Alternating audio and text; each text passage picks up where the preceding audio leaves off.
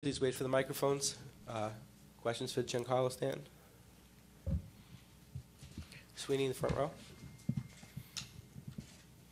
Giancarlo, you've talked before about how much more comfortable you feel when you face pitchers a number of times. You have a good bit of history um, with these guys. How do you approach the, you know, the three starters that you're going to see here? Um, you just uh, you, you see the way they've approached me in the past. Um, so when they've had success, not had success, and really just the team approach that the Astros have. Um, and then then I build my plan from there. So you, you do your homework and um, create the plan for uh, the series, the game. I mean. Uh, you gotta gotta be ready for adjustments too. After mid at bat, next, you know, second half of the, the game, just gotta be ready. Far right? Gene Giancarlo, when you look at the, uh, the Astros, their offense, their uh, their starters and their relievers, if you, in your opinion, would you agree that the bullpen of Houston seems to be the weak point, the, the thing that perhaps your offense can exploit more easily than their starting rotation? Um, I mean, uh, any team with uh, over 100 wins, you know, there's very uh, minimal weak points, but uh, you know, you, you just got to chip away, ha- have good at bats versus whoever's out there. Um, if, you, if you don't take care of who's out there now, you're not going to get to the bullpen. And if you say the starters are weak, then you, you still got to battle um, and get through them. So uh, we, we go one at a time. Stay here on the right.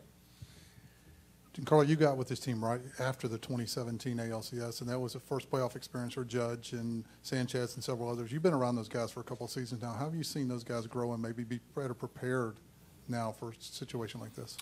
Yeah, I mean it's experience. You, you go through it once, um, go through it twice, uh, and then and especially for those guys that, that did it here and lost here, uh, you know, I feel feel there's extra motivation and um, just uh, critique little things uh, they could have done better, and the same thing for um, uh, how last year went. You know, it's uh, little adjustments. You you know um, what you could have done to you know have a better turnout, and, and you go out there with what you got.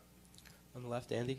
H- How do you approach uh, a pitcher like Cole and Verlander, for example, where they have that high 90s fastball and that great breaking ball? How, what plan you go in, in at bat with? Are you do you have to be ready for the fastball and then react to the breaking ball? Well, I can't give you my complete plan.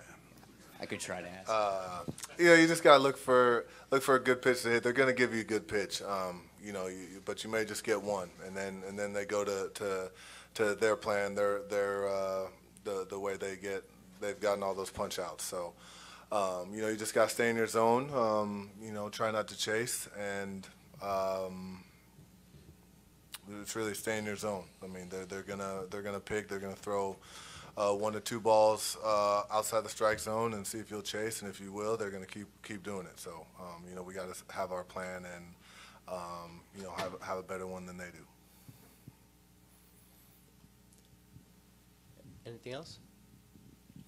We good? Okay, Giancarlo, thank you.